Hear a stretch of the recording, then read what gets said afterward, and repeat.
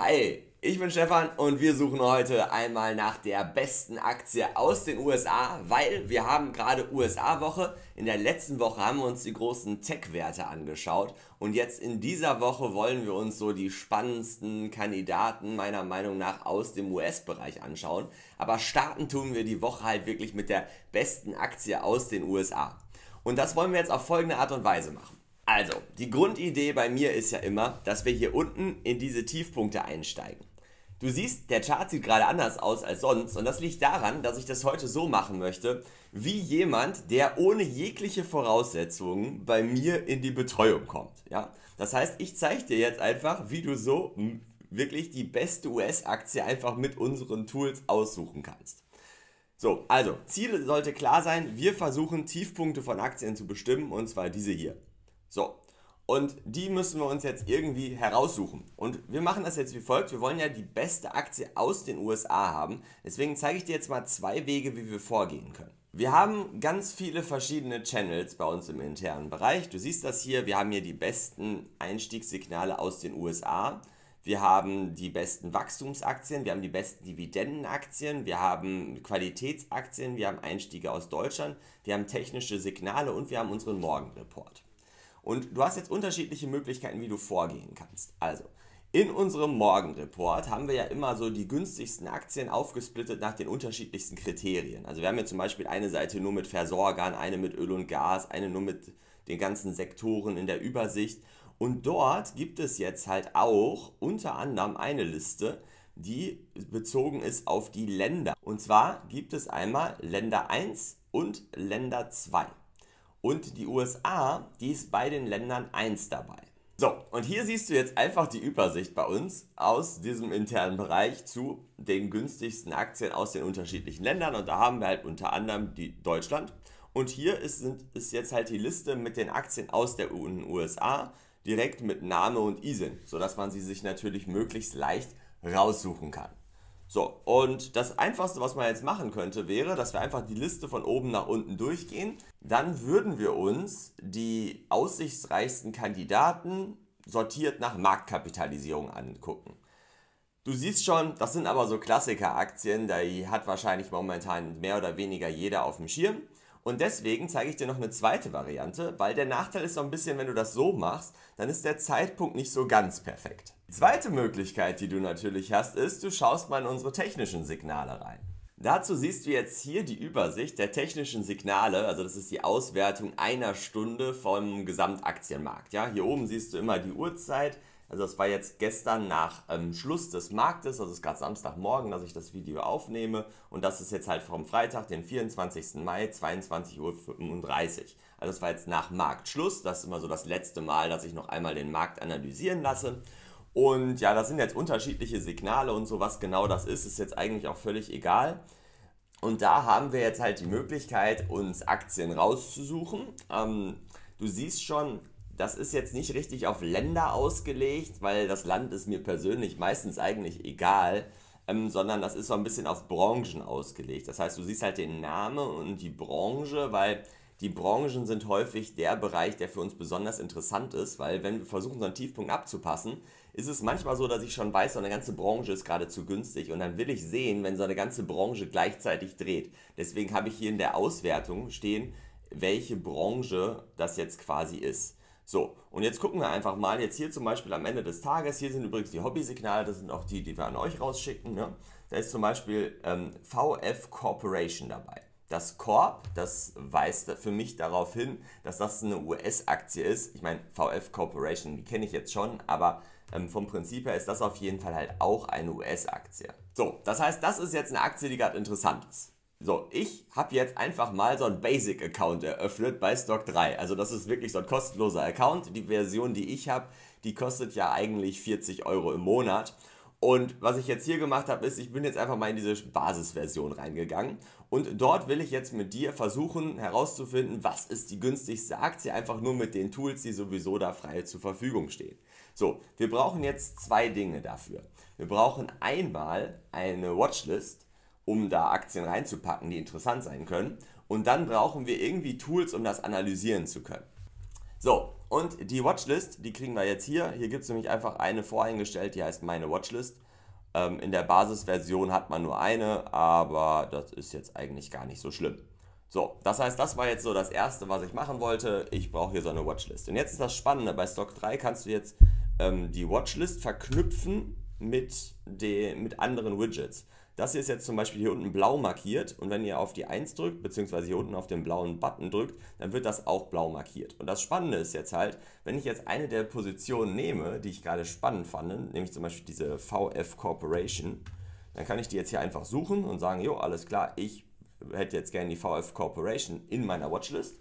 Und dann klicke ich da drauf und dann klicke ich jetzt hier in meinen Chart. So, Jetzt ist das natürlich ein total langweiliger Chart. Da ist irgendwie so ein EMA drin und noch ein EMA.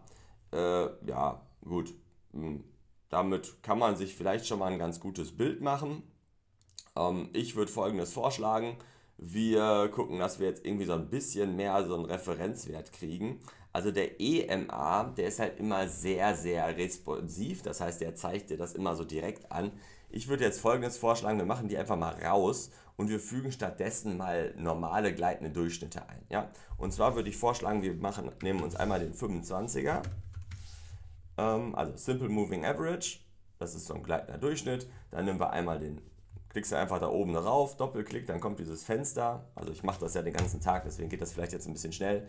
Aber äh, hier auf, das, auf dem Ding kannst du das Ganze kopieren und so kriegen wir jetzt da dann noch einen 125er, würde ich mal rein sagen. So, genau. Und dann haben wir jetzt hier auf jeden Fall schon mal das Bild.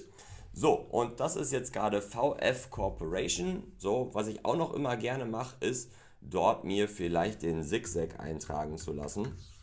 Weil ansonsten sehen wir da jetzt ja noch nicht so richtig viel. Und zwar beim Zigzag können wir halt einstellen, wie der das anzeigen soll. Und damit das so ähnlich aussieht wie bei mir in meinen Videos, ähm, nehme ich hier immer den 20er, weil da versuche ich ja immer den Tiefpunkt von zu bestimmen. Und hier bei der Darstellung kannst du noch die Farbe der Swings ändern. Also wenn es rauf geht, soll das Ding grün sein. Wenn es runter geht, soll das Ding rot sein. Das ist jetzt nicht das Rot, was ich normalerweise habe, aber geht jetzt ja auch gerade nur so ein bisschen ums Prinzip, damit ihr das einfach mal mitkriegt, wie ihr das hier machen könntet. Und ja, dann haben wir Prozentsatz nach oben, wir haben den Prozentsatz nach unten. Ähm, und dann lassen wir uns mal noch die Prozentwerte anzeigen. So, guck mal, und jetzt sieht das dort schon so ähnlich aus, wie das bei mir manchmal bei mir in meinen Videos aussieht. Ähm, und ja, das würde ich sagen, nutzen wir jetzt einfach mal, um uns irgendwie ein Bild dazu zu machen. So, und das Ganze können wir jetzt als Vorlage speichern. Das nennen wir jetzt einfach äh, Tageschart oder so, weil wir gucken uns die Sachen halt für das Video einfach nur im Tageschart an. So, und jetzt haben wir schon mal hier ein ganz cooles Chartbild, einfach mit der Standardversion von Stock 3. Ja? Und das können wir uns jetzt schon mal anschauen. Hm. So, jetzt können wir noch mal gucken. Hier die Kerzen, die sind schwarz-weiß.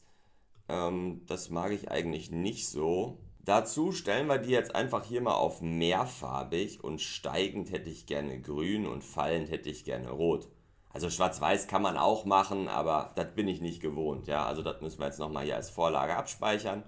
Und so haben wir jetzt auf jeden Fall eine ganz gute Voraussetzung, ähm, um uns das Ganze äh, hier anzugucken. So, weil das Spannende ist jetzt nämlich, wir können jetzt unsere Liste voll machen und das tun wir jetzt einfach mal mit 10 Aktien, würde ich sagen, die jetzt in letzter Zeit bei uns bei den Einstiegssignalen gekommen sind. Und dann gucken wir und versuchen wir doch mal herauszufinden, ob das eine gute Aktie ist oder nicht. So, dann haben wir hier zum Beispiel noch die Flywire Corporation. Ja, keine Ahnung, was Flywire Corporation ist, aber äh, wir packen die jetzt einfach mal da hinzu. Ähm, hat auch eine US-ISIN, ist also wirklich eine US-Aktie. So, dann haben wir hier noch OI Glass. Die gucke ich mal auch einmal. Glass klingt ja auch so, als wäre das eine US-Aktie. Schauen wir mal rein. Okay, da hat er jetzt falsch kopiert, aber das ist ja kein Problem. Hier, ja, OIS ist ebenfalls eine US-Aktie. So, dann haben wir hier noch eine Lithium-Aktie. Ich versuche jetzt absichtlich mal so ganz verschiedene Dinge auszuwählen. So, die kommt jetzt aus Kanada. Gilt Kanada noch als US-Aktie? Keine Ahnung. Ist mir jetzt aber persönlich auch egal. Dir wäre das ja wahrscheinlich auch egal, wenn du jetzt nach einer US-Aktie suchst und äh, dann findest du eine coole aus Kanada, dann würdest du ja wahrscheinlich nicht sagen, ja nee, also die nehme ich jetzt aber nicht. so, dann haben wir hier noch eine. Ascenta Inc gucken wir uns auch die einfach mal an. So, jetzt gehen wir mal so ein bisschen durch den Tag durch und gucken mal, ob wir nicht noch auch noch irgendwie eine richtig coole US-Aktie finden, die jetzt gerade vielleicht günstig ist. So, kannst du einfach mal mitschauen. Ja, also ich will ja, dass das jetzt wirklich so ist, wie du das halt auch machen könntest. Ist dadurch jetzt ein bisschen langsameres Video, aber ist ja vielleicht auch mal ganz cool. Ähm, so, schauen wir mal weiter. Da ist wieder VF Corporation. Das ist übrigens ganz interessant.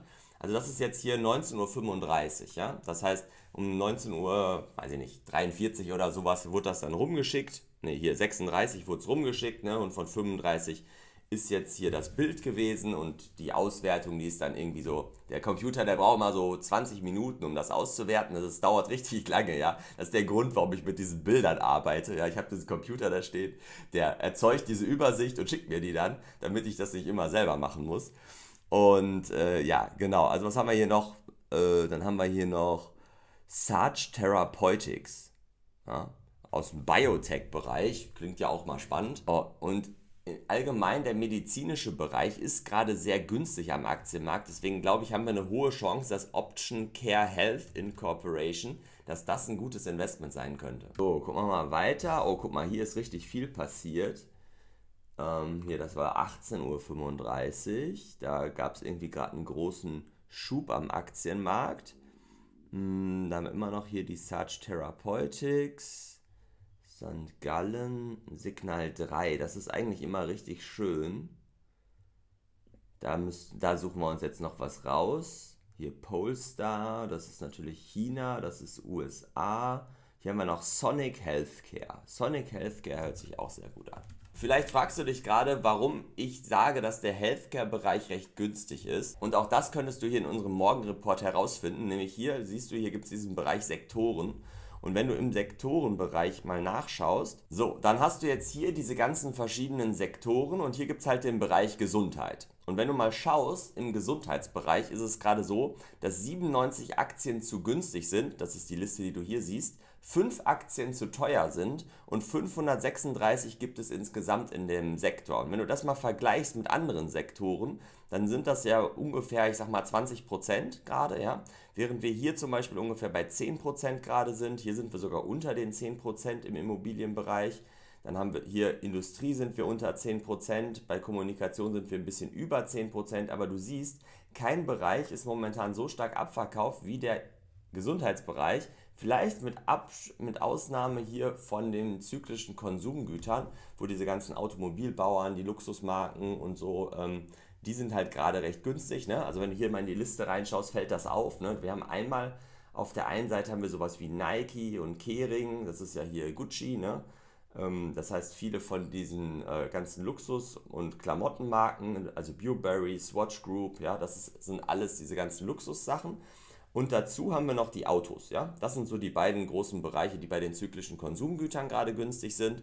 Und ähm, hier im Gesundheitsbereich sind es halt andere Aktien wie CVS Health, Sartorius und so weiter und so fort. So, damit das Video nicht zu lang wird, beschränken wir uns jetzt, glaube ich, mal auf diese acht Aktien. Und ich glaube, du hast auch verstanden, wie du das machst. Ja, du gehst die Listen durch und kopierst dir einfach die Namen raus und dann gucken wir mal. So, jetzt müssen wir uns das Ganze ja irgendwie analysieren. Jetzt haben wir schon den Chart, wir haben aber noch keine Informationen zu dem Unternehmen. Dazu machen wir jetzt folgendes: Wir gehen einfach hier auf so einen Namen und sagen, oh, okay, wir wollen jetzt hier ins Instrumentenprofil gehen. Und äh, ja, das müssen wir uns jetzt auch noch hier irgendwo hinpacken. Also das ist das Schöne hier auf der Website, auf, bei Stock 3. Du kannst dir das alles so zusammenbauen, wie du das gerne hättest. Und äh, ja, das tun wir jetzt auch. Das heißt, wir machen jetzt einfach alles weg, was wir nicht haben wollen. Und hier haben wir jetzt einmal so die Übersicht. So, da gibt es zwei Darstellungen. Es gibt die Basic-Darstellung und es gibt die Advanced-Darstellung. Ähm, die Advanced-Darstellung ist das, was du auch immer bei mir im Investment Club siehst. Ja, also das habe ich immer bei mir drauf. Jetzt sehen wir hier, wir haben nicht so alle Informationen leider. Also Kursumsatz, Kursbuchwert und so fehlt uns zum Beispiel. Aber das KGV, das haben wir zum Beispiel eingetragen hier bei Ascenta und auch im Vergleich zum Markt und zur Branche. Ähm, das heißt, wir finden hier schon relativ viele Informationen, auch in der Basisversion. So, jetzt wollen wir ja noch Fundamentaldaten haben. Das heißt hier wieder Rechtsklick drauf, Fundamentaldaten. Und dann nehmen wir folgendes: Es gibt hier die Bilanz, es gibt GUV und so weiter und es gibt äh, die Fundamentalcharts. Ich lass uns mal schauen, was passiert, wenn wir auf Bilanz drücken. So, dann kriegen wir jetzt hier diese Übersicht, ähm, wie momentan die Bilanz ist und so. Und ehrlich gesagt, so richtig gut gebrauchen kann man diese Übersicht hier noch nicht. Aber wir können zum Beispiel da draufklicken und dann kriegen wir zum Beispiel das Gesamtanlagevermögen Ja, und dann sehen wir halt zum Beispiel hier, äh, wie jetzt ähm, ja, die Größe des Unternehmens sich entwickelt hat. Also das ist zum Beispiel schon mal ganz schön. Hm, wir können auch jetzt hier noch andere Dinge hinzufügen und genau das machen wir. Also das sind diese Fundamentalcharts, die du auch immer bei mir in den Videos siehst, wobei ich immer nur die Chartdarstellung eigentlich euch zeige. Dann lass uns doch mal gucken, was wir jetzt alles hier so finden können, was wir uns dort eintragen lassen können, ähm, um so ein ähnliches Bild zu kriegen, wie ich das immer so habe. Also wir haben die Unternehmenskennzahlen. Ähm, da können wir, glaube ich, eher nichts draus gebrauchen. Dann haben wir die Leistungskennzahlen, das ist so Marge und sowas, Umsatz je Mitarbeiter. Das ist zwar auch alles ganz interessant, aber ich glaube nicht, dass wir das wirklich brauchen. Dann haben wir die Kapitalflussrechnung. Das ist so Abschreibung, Bardividende und so weiter. Also hm, ja, nicht so richtig spannend, ehrlich gesagt. Ähm, dann kommt jetzt aber der Bereich Gewinn- und Verlustrechnung und da dürfte es jetzt langsam spannend werden. Da können wir jetzt nämlich uns einzeichnen lassen, zum Beispiel das EBIT. Ja, und dann haben wir das schon mal hier drin. Dann gehen wir wieder zur Kapital- und Verlustrechnung. Können wir mal weiter schauen, was wir noch so alles haben. Hier sind noch ein paar Sachen, sind grau, die werde ich sicherlich nicht ähm, da reinbekommen, einfach weil ich nicht die richtige Version habe. Aber zum Beispiel den Umsatz kriege ich auch noch rein. Ja, perfekt. Sehr gut. Also, so sehen wir jetzt, so nach und nach kriegen wir so ein paar Dinge da rein. Ähm, damit haben wir jetzt eigentlich schon das mit das Wichtigste. Ähm, Eigenkapital wäre sicherlich noch ganz interessant. Das dürfte bei der Bilanz sein. Hier Eigenkapital. Ach, guck mal, das kriegen wir auch rein in der, in der Standardversion. Das ist ja ziemlich cool. Ähm, und das letzte, was mir jetzt eigentlich noch fehlt, ist die Marktkapitalisierung. So, das heißt, wir gucken jetzt einfach mal. Ich habe gesehen, man kann auch einfach suchen. Wir nehmen noch die historische Marktkapitalisierung, das ist nämlich der Preis aller Aktien zusammen. Und jetzt sieht der Chart schon so ungefähr so aus, wie ich das bei mir habe. Und was uns jetzt noch fehlt, ist, würde ich sagen, nur eine Y-Achse verwenden, weil sonst ist das so ein Durcheinander. Dann versucht er einfach die Charts alle anzuzeigen, aber du siehst nicht, wie groß die in Relation sind. Und das Ding ist jetzt ungefähr das, was ich mir auch immer in meinen Videos angucke. Also damit kann ich gleich auf jeden Fall gut arbeiten. Jetzt verknüpfen wir das auch wieder hier mit dem ersten. Ja, so zack, zack. Also du siehst schon, wir sind jetzt gerade dabei, es ist so ein bisschen mehr ein Tutorial hier für, äh, für Stock 3, aber ich will ja wirklich, dass du das quasi genau so nachmachen kannst, wenn du dann jetzt bei uns in der Betreuung bist. Ähm, und dann gucken wir einfach mal. So, pass auf. Das ist jetzt auf jeden Fall schon mal ein ziemlich cooler Desktop. Und wenn du das nicht bei jedes Mal selber machen willst, dann, dann könntest du jetzt hier den Desktop speichern äh, zum Beispiel USA. So, das Limit an speicherbaren Desktops ist jetzt erreicht. So, das ist jetzt der Punkt, wo du nicht weiterkommst mit der kostenlosen Version. Wenn du das jetzt nicht jedes Mal neu einstellen willst, dann brauchst du, glaube ich, die Version für 9,99 Euro. Ja? Die, also pro Monat kostet das dann. Also das wäre jetzt halt so der Nachteil an der Stelle ähm, musst du dir dann halt überlegen, ist mir das 9,99 Euro wert, dass ich das nicht jedes Mal neu machen muss, sondern dass ich immer direkt auf diese Seite zugreifen kann. Ich bin der Meinung, dass es das wert ist, aber das musst du natürlich für dich entscheiden. Aber du hast gesehen, so lange hat das jetzt auch nicht gedauert, das einmal einzurichten. Also du könntest das auch mit der kostenlosen Version machen. So, dann lass uns jetzt doch einfach mal schauen. Also, es geht los mit As Center Incorporation. Ja, dann lass uns jetzt mal starten. Es geht los mit Center Incorporation und ich sehe gerade, der hat die Vorlage jetzt leider doch nicht gefressen. Ähm, das äh, hat also nicht funktioniert. Das ist ja ein bisschen ärgerlich. Dann nehme ich jetzt doch hier so die Standardvorlage mit dem EMA einfach. Ähm, ja, also damit die Vorlagen speichern kannst, brauchst du anscheinend auch die Pro-Version. Ähm, du könntest dir allerdings bei dem Chart dann einfach aushelfen und zum Beispiel mit Yahoo Finance arbeiten oder sowas. Da kannst du dann halt auch deine Indikatoren einstellen ist dann nicht ganz so komfortabel oder du kaufst dir halt diese 9,99 Euro Version. Ähm, so, dann gucken wir mal einmal rein. Ich würde folgendes vorschlagen. Wir machen einfach hier als Ansicht, äh, ja, also wir nehmen den Tageschart und gucken uns das Ganze auf zwei Jahre an.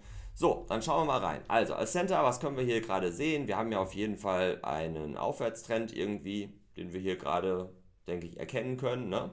Also von hier unten nach da oben geht es irgendwie hoch. Ja, ich habe jetzt gerade nochmal geguckt, das kann ja nicht sein, dass wir unsere Charts nicht so hinkriegen, wie wir das haben wollen. Äh, wir können hier Favoriten erstellen, ja. Also ich habe jetzt diesen Zigzag nochmal neu erstellt und wenn ihr hier auf diesen Haken drauf drückt, Zigzag, bums, dann speichert der das als Favorit ab. Und so habe ich das jetzt auch mal hier mit dem SMA gemacht, ja, also dieser SMA 25, den ich da drin haben wollte. Du kannst jetzt natürlich überlegen, was sind all diese Dinge, die du jetzt in so einem Chart brauchst und wie stellst du die ein und wie du das alles machst und was meiner Meinung nach in so einen Chart alles rein muss und so. Das findest du natürlich bei uns in der Ausbildung. Ähm, aber so vom Grundprinzip her ähm, kannst du das so auf jeden Fall machen. Ne? Das heißt, du kannst jetzt hier zum Beispiel, machen wir noch den 125er rein und dann können wir den halt auch abspeichern. Den nennen wir dann SMA 125 praktischerweise.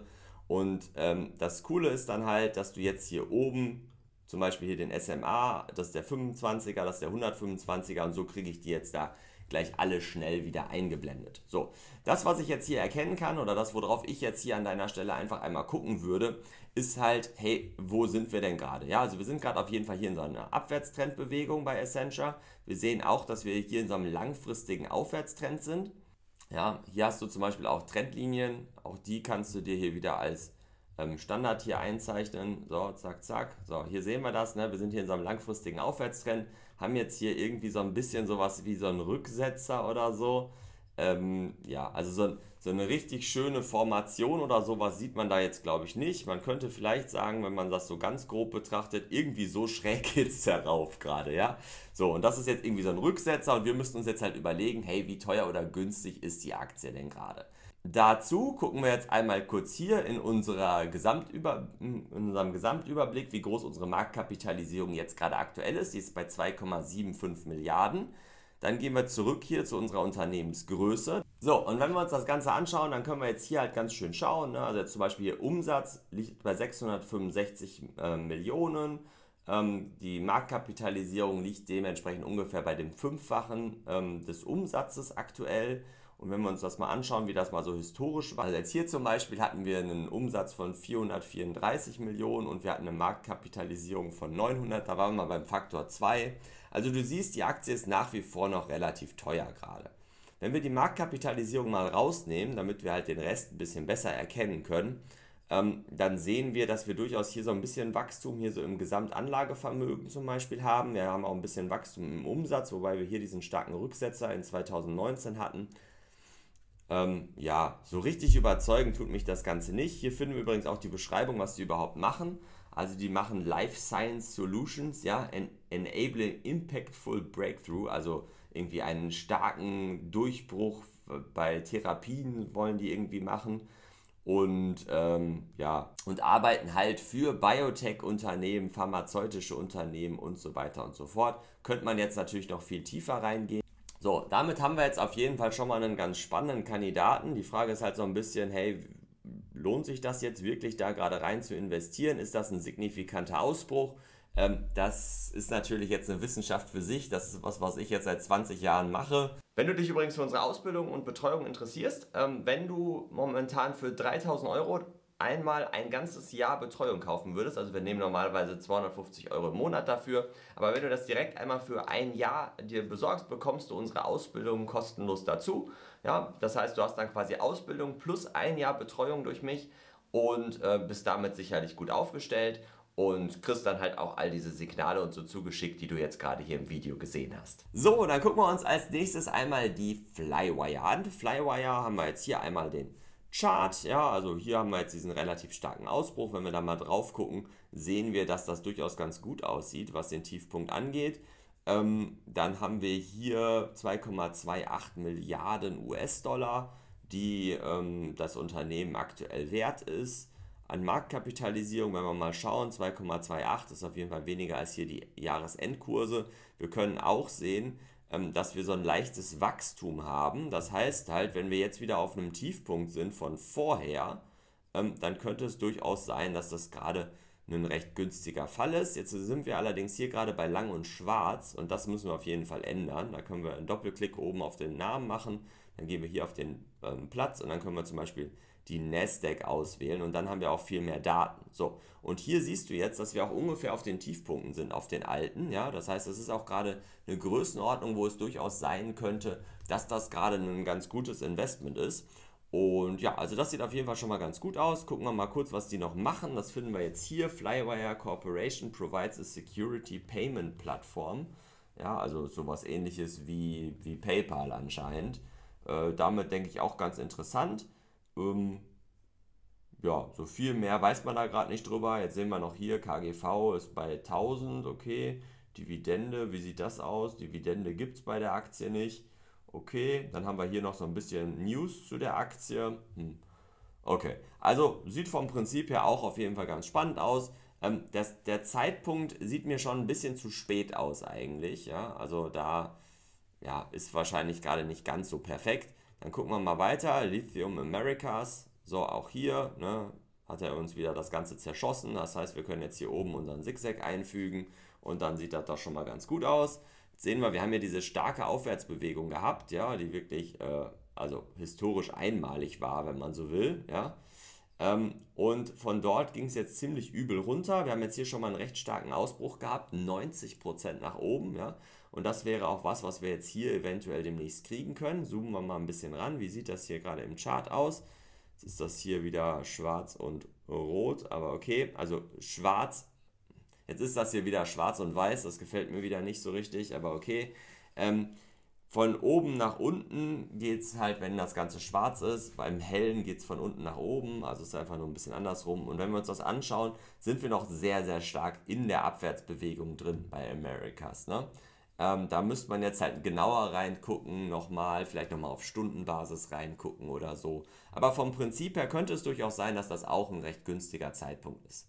Als nächstes schauen wir uns an OI Glass. OI Glass, auch hier machen wir uns wieder ein bisschen besseren Überblick. Ähm, vielleicht noch ein kleiner Tipp, wenn du das Volumen hier unten rausmachst, dann kannst du hier noch einen dritten Indikator reinpacken. Also das ist eine der Beschränkungen von der Basisversion. Und ein kleiner Tipp, worauf du gucken kannst, ist, wie groß, wie weit die beiden auseinander sind hier. Also die beiden gleitenden Durchschnitte. Ja? Also ich habe jetzt hier gerade den EMA und den SMA. Welche beiden du nimmst, ist dabei nicht egal. Du kannst das halt so ein bisschen optimieren noch. Also ich habe da halt so meine speziellen, müsste ich aber auch gerade nachgucken, welche das sind. habe ich ja abgespeichert. Ähm, und äh, ja, du siehst, dass wir jetzt hier gerade einen relativ großen Abstand haben. Ne? Und hier ähm, je größer der Abstand ist, desto ähm, weiter sind wir wahrscheinlich an dem Tiefpunkt. Und wenn du die richtig einstellst, musst du einfach mal so ein bisschen kalibrieren, dann kannst du es so machen, dass der Tiefpunkt hier, den du haben willst, ungefähr mit dem größten Abstand zusammenliegt. Und das ist einer der Punkte, die ich mir halt immer ganz gerne angucke. Und hier haben wir jetzt halt auch einen relativ großen Abstand gerade. Ähm, wir haben jetzt hier so eine erste Gegenbewegung. Wir sehen, dass wir sowohl hier als auch da eine Gegenbewegung hatten. Also dementsprechend würde ich sagen, OI Glass sieht wirklich gerade ziemlich gut aus. Schauen wir mal, was das ist. OI Glass ist der größte Hersteller von Glasflaschen ja, und 70% seines Umsatzes kommt von außerhalb der USA. Ja, das heißt, sie verkaufen weltweit Glasflaschen und sind so der größte Hersteller da. Und das ist natürlich sehr, sehr interessant, ja, ähm, meiner Meinung nach, weil es einfach ein cooles Geschäftsmodell ist. Ähm, wenn wir jetzt mal reinschauen, wir haben gerade eine Marktkapitalisierung von ungefähr 2 Milliarden. Das können wir jetzt hier sehen. Hier in der Spitze waren wir mal bei 8 Milliarden, hier im tiefsten waren wir mal bei 824 Milli Millionen. Wir sehen auch, am Unternehmen ändert sich nicht so richtig viel, das heißt, es ist ein sehr konstantes Unternehmen. Dementsprechend kann man das eigentlich einfach kaufen, wenn der Chart gerade günstig ist. Ja, also das ist eigentlich ganz schön, ist so ähnlich wie eine BASF oder sowas.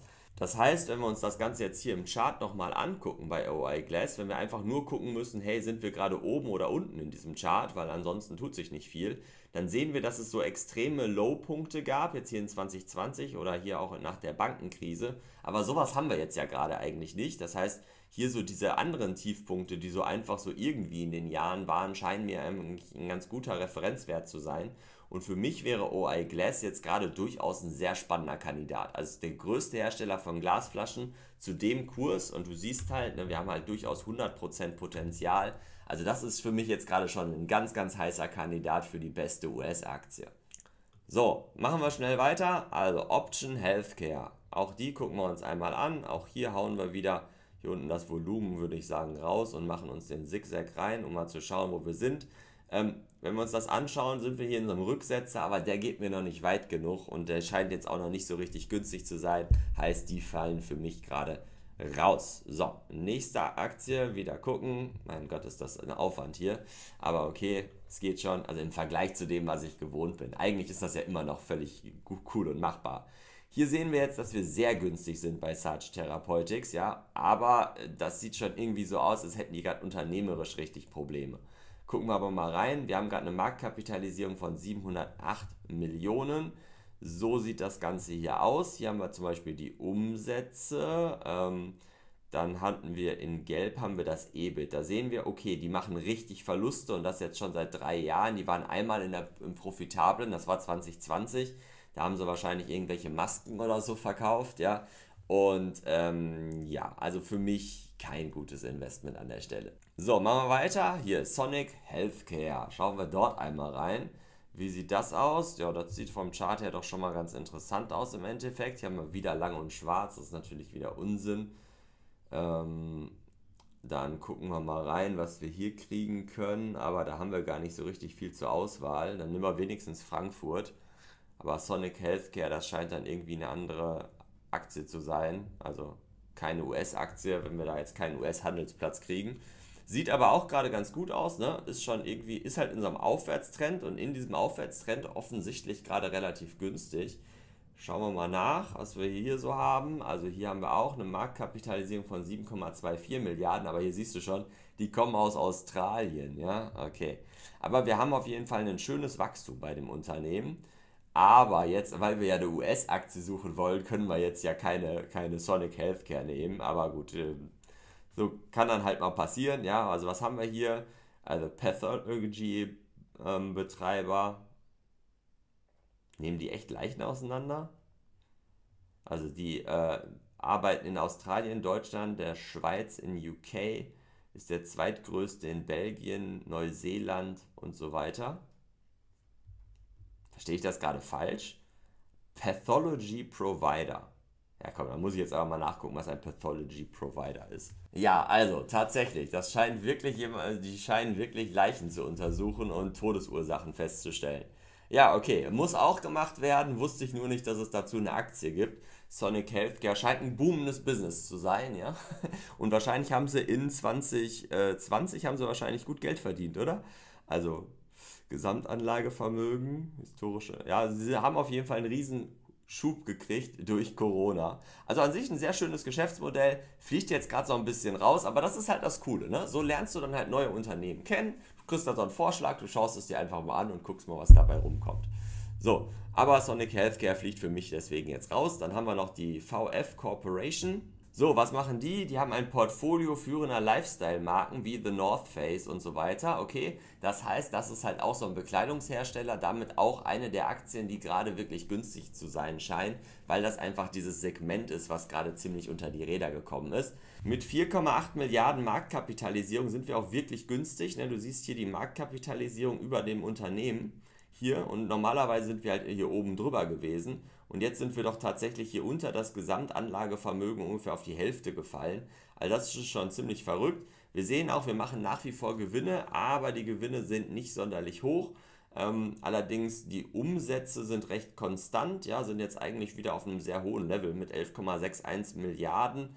Ähm, 2024 hatten wir mal 11,88 und das Verrückte ist halt, hier in 2024 war das Unternehmen 32 Milliarden wert und jetzt sind wir halt noch bei 4 Milliarden. Ja? Das heißt, du kriegst eigentlich genau das gleiche Unternehmen wie damals mit einer bisschen schlechteren Profitabilität und natürlich die Wachstumsstory war halt bis 2014 intakt und jetzt sind wir halt eher so auf einem konstanten Level.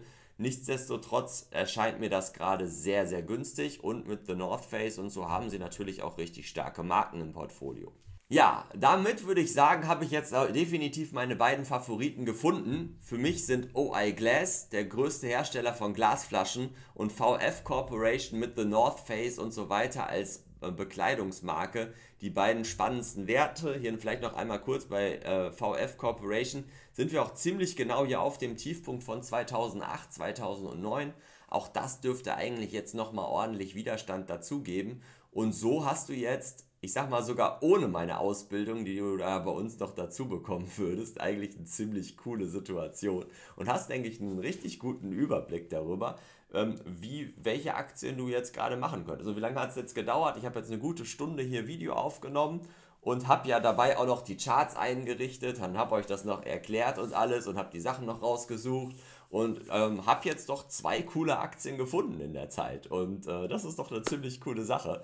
Dementsprechend würde ich jetzt mal sagen, äh, machen wir jetzt hier einfach Schluss. Schreib mal in die Kommentare, welche Aktie du am spannendsten findest und sag doch mal, wie du das Format fandest. Das war jetzt ja so ein bisschen special, aber ich denke, dass es doch eigentlich eine ganz coole Sache ist. Und wenn du dich für unsere Ausbildung interessierst, trag dich erstmal bei focusinvestor.de ein, komm zu uns zum Investment Club, dann erkläre ich dir einmal, ähm, wie das Ganze funktioniert, nachdem du dich eingetragen hast. Ne? Das heißt, du kannst dich einfach hier oben einmal kurz eintragen. Wie gesagt, einmal Handynummer und E-Mail. Handynummer für die Signale, weil wir schicken die Hobby-Signale, schicken wir ja raus. Damit kannst du übrigens diesen Prozess auch schon machen, so wie jetzt. Ja, also die kriegst du kostenlos, nur du hast da nicht ganz so einen guten Überblick und nicht ganz so perfekte Einstiege wie die, die bei mir in der Betreuung sind.